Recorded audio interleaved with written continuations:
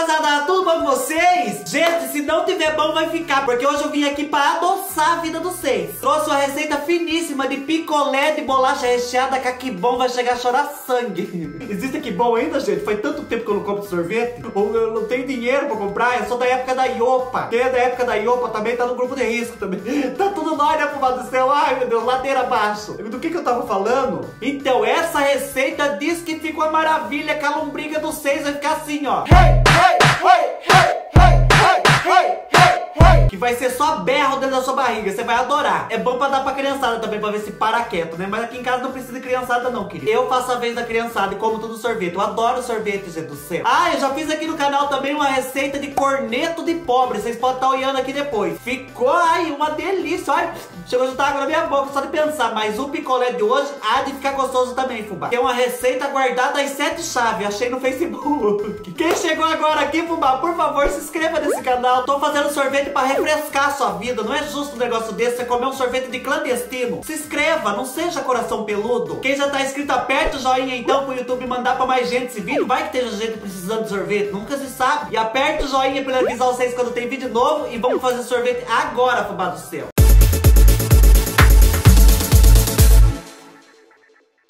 Primeiro de tudo, você vai precisar de um pacote de bolacha. Lá no, no vídeo tava a bolacha Oreo. Eu tô usando essa daqui, que é mais barata e é tudo gostoso, né, fubá? Eu peguei dessa fininha aqui, assim, ó, que tem no mercado, porque era essa que tava na receita. Mas talvez qualquer outra bolacha recheada dá, né, fubá? Mas eu vou fazer com a fininha. Primeiro de tudo que nós vamos fazer, então, você vai moer ela mas você pense que é o pescoço da sua inimiga. Se você vê martelo na sua casa, você desce a marreta.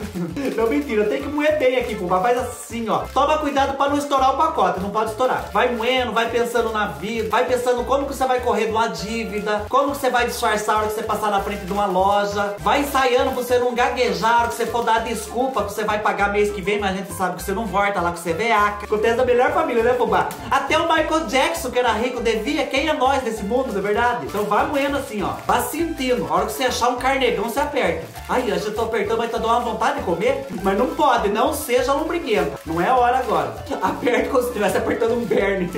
Ai, credo. Mentira, gente. Mas pode ser verdade. Ó, eu acho que tá bem apertado, ó. Já tá fazendo até assim. Ih, eu acho que furou em algum lugar aqui. Não deixa furar, fubá, não deixa. Ó, a hora que você terminar de apertar tudo, ela vai ficar que nem aquelas bolachas recheadas que tá por primeiro no mercado, que tá tudo moído, de tanta turma macetar. Eles põem lá por primeiro pra ver se você come. Mas eu sou daquelas pessoas que eu pego a do fundo. Vocês são assim também? Agora, fubá, o que você vai fazer? Você vai pegar uma tesoura, uma tesoura que tenha corte, né? Vou pegar uma tesoura cega, que é só pra benzer o pacote, não Veja bem no meio, mais ou menos aqui, fubá. Dá uma apertada aqui pra tirar o pozinho, senão além de fazer sorvete, você vai ter que limpar chão. Ó, e corta aqui, assim, ó. Se tiver uma faca bem afiada também, você dá uma passada de baixo pra cima, assim, ó. Já tá cortado. Ai, que cheiro maravilhoso, deu vontade de comer. Vai ficar dois pacotes assim, ó. Daí, você vai pegar um palito, um palito de sorvete. Eu peguei esse palito de dor de garganta mesmo, que eu ganhei lá da mulher lá do, da farmácia, porque eu não sabia onde que eu ia achar palito de sorvete. Mas pobre se vira, né, fubá? O importante é parecer sorvete. O importante é você cheirar pra ver se não vem com cheiro de garganta, né? Vai, imagina. Arrancou lá da goela do meu, ele entregou pra mim. Daí já sente o cheiro de pinga, já chupa. Ai, credo. Então, vou colocar aqui, ó. Vamos encaixar Vai ficar um pouco difícil, mas encaixa que vai dar certo. Cuidado para não furar o pacote, viu? Vai devagar. Vai achando o caminho. Olha lá, achou. Vai ficar desse jeito, ó. Seu picolézinho. Coloca isso aqui também, ó. Vai achando o caminho. Você quer achar mais fácil, olha lá. Deixa os dois aqui na, na, na caneca. Na careca, olha. na caneca. Agora, você vai pegar um copo de medidor, ou pode ser qualquer coisa de medir na sua casa. Você vai colocar, fubá, 50 ml de água. Se você não pagou a sua conta de água, cortaram, peça pra vizinha. Vá lá falar que depois você dá um sorvete pra ela com goela de beldo. 50 ml, cadê? Ó, certinho, 50 ml aqui, fubá. E nessa 50 ml, eu vou colocar uma colher cheia de leite em pó. Ai, como eu adorava pegar leite em pó quando eu era pequeno e comer escondido da mãe. A hora que a mãe chegava, tava com a boca até grudada, uma na outra, assim, não conseguia falar. Eu saía correndo pra mãe não ver que eu comi. Tudo branco aqui, assim, ó, parecia Papai Noel. Isso aqui é um leite de vacas velhas, finíssimas, mas que já estão aposentadas, que não dá leite mais. Mas a hora que elas tossem da teta dela, sai leite em pó. A turma vê de longe e pensa que estão estourando peido de saci do passo. já viram estourar peido de saci, fubá? É só fumaça que sai. Vou colocar aqui. E o que, que eu tava contando pra vocês? A da vaca. São vacas velhas que não tem nem dente mais, fubá do céu. Ela chupa a grama aqui, ó só pra sentir o orvalho de ação das vacas. Vamos mexer bem aqui, fubá. Tem que mexer pra dissolver o leite em pó. Vocês estão muito faladeira demais. Mais fácil assim, né? Olha lá, vai mexendo, vai mexendo. Coitado das vacas. O pior é se chupar grama, chupar uma ortiga, né?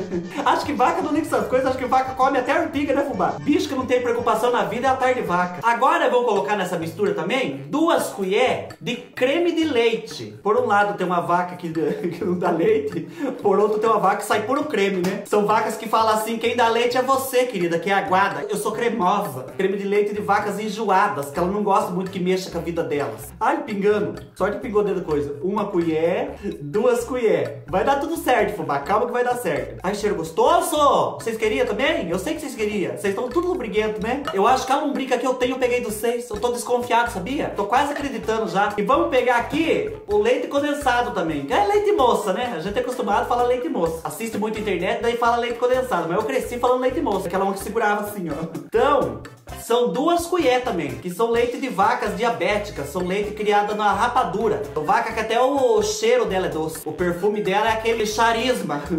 é um perfume tão doce que chega a juntar bem de sol. De repente só passa a vaca correndo na beira do pasto e 30 dúzias de abelha atrás. E vamos mexer também bem mexidinho, fubá. Vocês vão adorar esse sorvete aqui. Vocês vão passar na frente da sorveteria, vocês vão tossir com seu sorvetinho na mão assim. Vão fazer que nem o Kiko fazendo inveja pro Chaves. Mexa bem mexidinho, fubá. Agora tem que ficar bem mexido mesmo. Pronto, terminou. Ai, agora eu vou poder só experimentar esse sabor.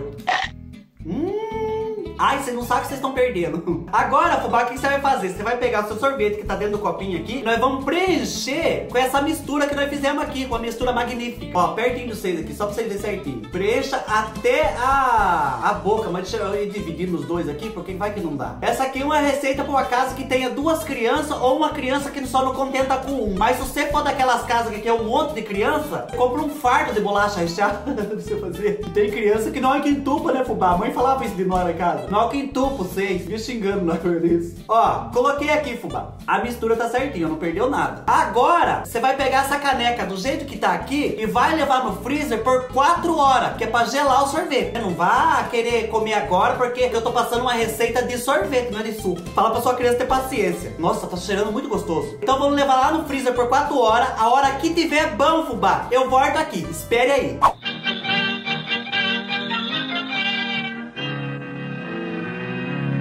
부러움 Pronto! Ô, quatro horas sofrida pra passar, meu Deus. Eu cheguei a pegar a geladeira, coloquei no botão no talo lá, que é pra fazer gelar mais rápido. Mas passou. Tô aqui firme e forte. Vocês é rápido, né? Eu fiquei aqui só no choro no ranger de dente. Mas olha os nossos sorvetes, fubá. Já tá feito. Vou pegar um aqui só pra nós saber. Nossa, mas ficou gordo, né? Deixa eu pegar o outro. Ai, ficaram enorme. Olha que bonito. Dá até pra vender. Já veio com embalagem e tudo. Se a pessoa perguntar se é caseiro, fala assim, não. Ah, que bom que tá mandando assim agora. Vamos abrir aqui, fubá, pra ver como que tá. Vou abrir aqui, ó, junto com vocês, ó. Vocês vê a deliciosidade desse sorvete. Nossa, mas que cheiro maravilhoso. Acho que se o Boticário vender sorvete, ia ter esse cheiro. Então a embalagem sai facinho até. O importante é não sair o cabo a hora que puxa, né? Olha, fubá, que bonito. Ninguém disse. Ai, nós temos que experimentar agora. Nós somos obrigados a experimentar pra saber que sabor que tem. Eu sei que vocês estão loucos e curiosos. Espera aí, só uma mordidinha como quem não quer nada.